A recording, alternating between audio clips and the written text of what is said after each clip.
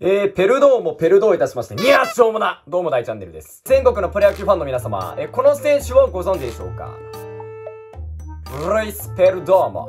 えー、ペルドモ選手ね。まあ、あの、パリーグファンの方で知ってる方は、まあ、ほとんどだと思います。はい。まあ、セリーグファンの方は知ってますかね、この選手。のね、今年から千葉ロッテマリーンズの助っ人として大活躍されているね、えー、ペルドモ投手。はい。ペルドーモ投手。えー、ペルドーいたしまして投手。いや、しょうもなあのね、あの、このセリフができた、まあ、原点でもあるんですけれども、ね、あの、僕大チャンネルの今年のね、外国人の推しの選手ということで、まあ、ぜひね、あの、セリーグファンの方ね、このペルドモ選手覚えてほしいんですけれども、まあ、これから交流戦もあるしね、まあ、ペルドモ選手とあの、対戦する機会なんかもあると思いますんで、まあ、ぜひね、あの、ペルドモ選手一回、あの、チェックしてみてください。はい。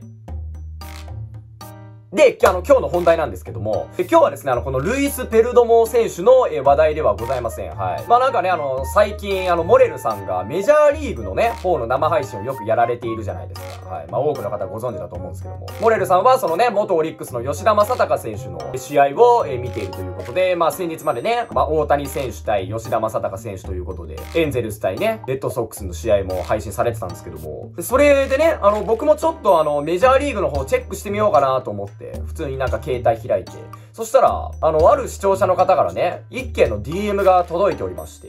はい。で、その内容が、ペルドもメジャーで大活躍してますよ、みたいな。え、ペルドモ投手は、千葉ロッテマリーンズに在籍してるはずなんですけど、え、メジャーに帰ったんすかみたいなね。え、よーく見てみたら、ダイヤモンドバックスのペルドモ選手。えー、そういう風に書いてありまして。えー、それで調べてみたら、いました。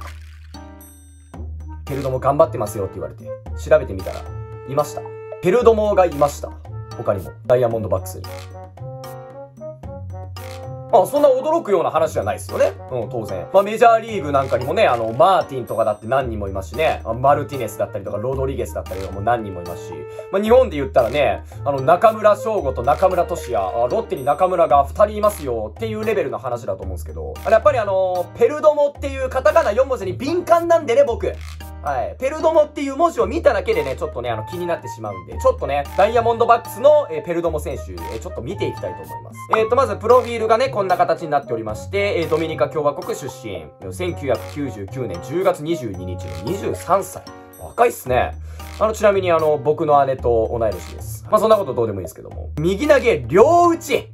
スイッチヒッターっすかまあ、この時点でなんかちょっと最強じゃねえかって思うんですけれども、えペルドモ選手ね、まあ、今シーズンで3年目でございまして、まあ、ちょっとね、年度別での成績を見ていきたいんですけれども、1年目なんかは、11試合の出場にとどまっておりまして、まあ31打数8安打と。まあ、ここは試合経験が浅かったっていうところですかね。え、そして2年目に関しては148試合出場しました。これ2年目からもうね、その監督なんかから、ああ、こいつは覚醒するなって。こいつはやっぱ育てていかないといけないなっていうところで、メジャーが果たして何試合あるのかちょっと分かっていないんですけれども、まあこれ相当試合出てると思うんですよね。148試合。で、まあ打率がね、1割9分5厘ということで、まあ成績としてはちょっと厳しかったところがあるかもしれないですね。えー、そして、メジャーリーグの方も今シーズンまだ開幕したばかり。えー、今シーズンのペルドモ選手の成績を見ていきましょう。えー、ここまで38試合。3割1分5厘打ってます。今年に関しては、まずルイス・ペルドモ選手が千葉ロッテマリーンズで大活躍。そしてダイヤモンドバックスでヘラルド・ペルドモ選手が大活躍。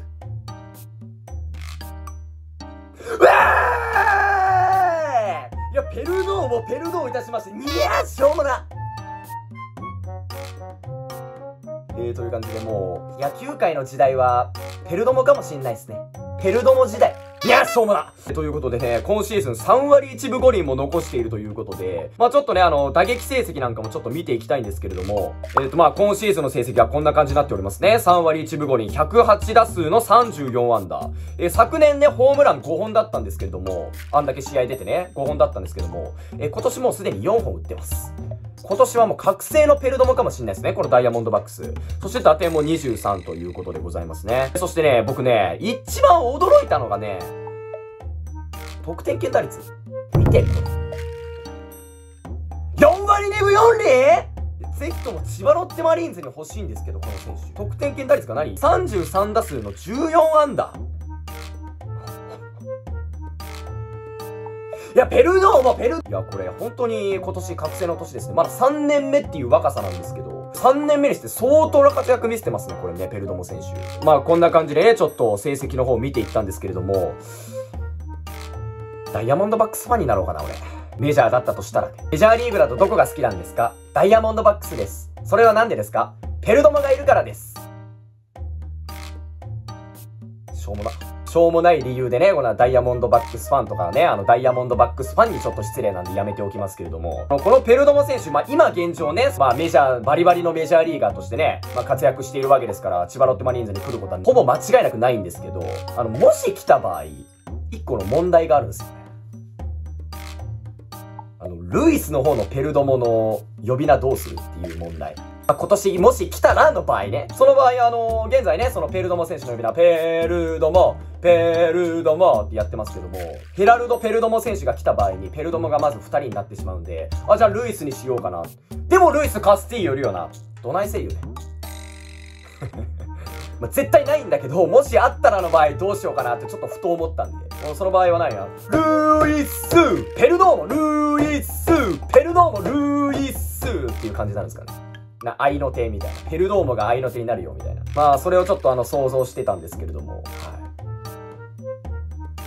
まあ、もうしょうもなっていうことで。えー、ということでね、このね、千葉ロッテマリーンズのペルドモ選手、そしてダイヤモンドバックスのペルドモ選手、両ペルドモがね、えー、今シーズン大活躍しているということで、これはもうペルドモファンの私にとったらね、非常にこれ嬉しいことでございますんでね、えー、今後とも頑張ってほしいなと思います。セリーグファンの方ね、この動画何人見てるかわかんないですけども、えー、僕はほんとね、あの、ペルドモ選手、あのね、僕、オールスター中継ぎで投票したんですけれども、えー、ランク外だったということで、もっともっとね、このペルドモ選手の良さだったりとか、プレイスタイルだったりとかね、えー、伝えていければいいなというふうに思ってるんで、まあもちろんダイヤモンドバックスのペルドモ選手なんかも、またなんか、モレルさんみたいに、今日のペルドモみたいな感じでやろうかな。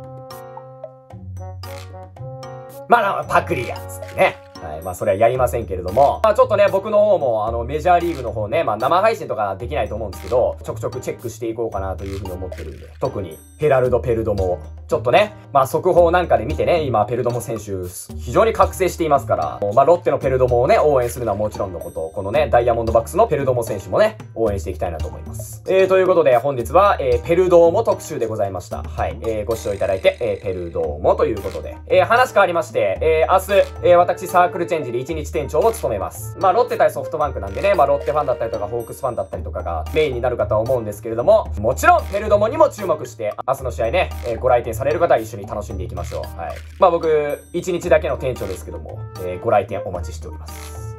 ということで、モリンツファイティン